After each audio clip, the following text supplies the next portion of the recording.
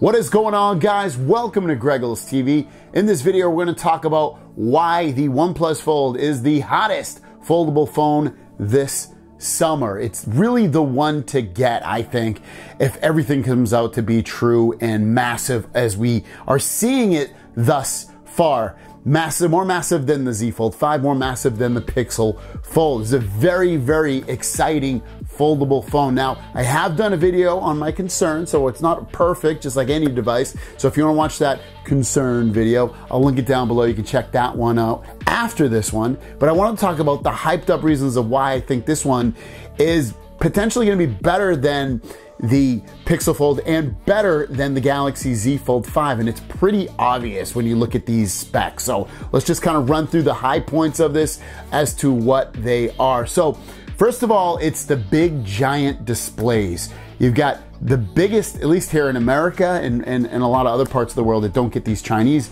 versions of the phone, you're getting a 7.8 inch inner display. It's 2K, 120 hertz. It's a beast.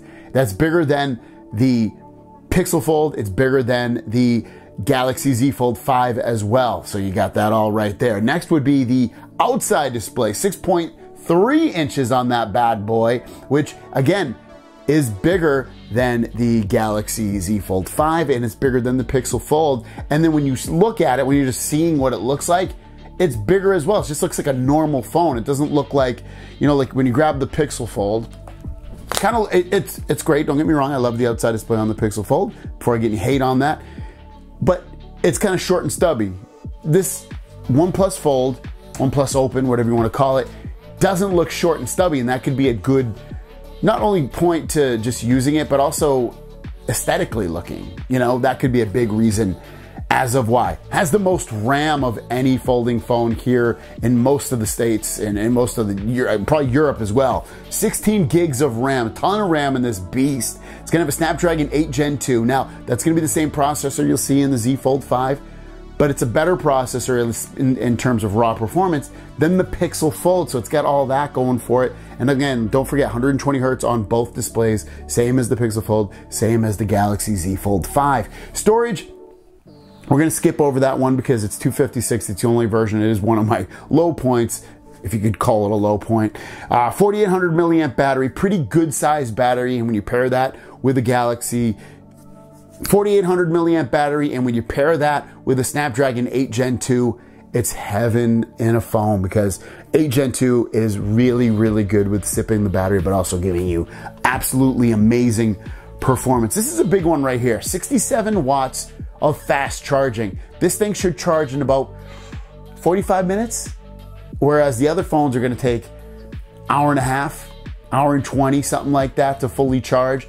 This is to go six, 45 minutes tops. And that's super fast. And I love seeing that. Something much needed on the Samsung side and the Google side at this point is really, really fast charging, wired charging at that. Now, I want to say the cameras are to be a high point. I did say there might be a low point in my, my other video, but I'm having some high hopes that they're to, you know, add some kind of algorithm or blow me away with this that I'm to be like, yes, I love it. Cameras are awesome. They take great photos and videos. So kind of like, I'm not going to dive too much into that because I'm more concerned than I am excited about it.